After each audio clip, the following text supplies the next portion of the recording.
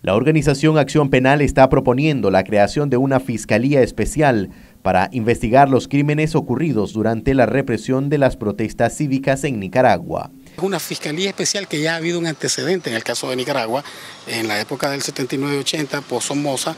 se decretó desde la Junta de Gobierno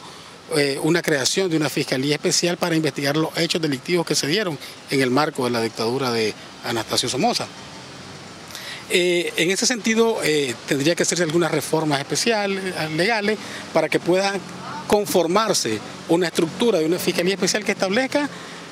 cuál va a ser su normativa, cuál van a ser sus alcances, cuáles van a ser sus límites, garantizarle presupuestos, recursos, pero sobre todo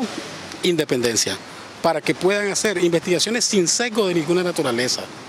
Es decir, que si hay una investigación y la investigación no te da resultado, en base a ello debes de tener la suficiente independencia y credibilidad sobre todo para decir, bueno, en este caso no hay prueba, no hemos identificado a nadie y no podemos acusar.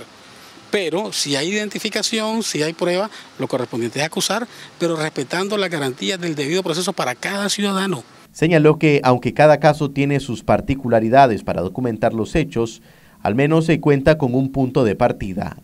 hay eh, insumos e indicios de los que podés partir, pero no puedes decir que en el 100% de los casos vas a darle una respuesta jurídica. Por eso es que necesariamente quienes conformen deben de tener independencia y credibilidad para que el ciudadano crea que lo que se está haciendo es lo correcto y que lo que se está haciendo allí no es ni para favorecer a alguien, ni para proteger a alguien, ni para perjudicar a alguien, sino que se está haciendo un trabajo correcto y que ese trabajo que va a hacer esa entidad que tiene que ser en un periodo transicional, pueda soportar el escrutinio de cualquier entidad especializada que diga, sí, efectivamente, vamos a hacer una auditoría sobre este tema en particular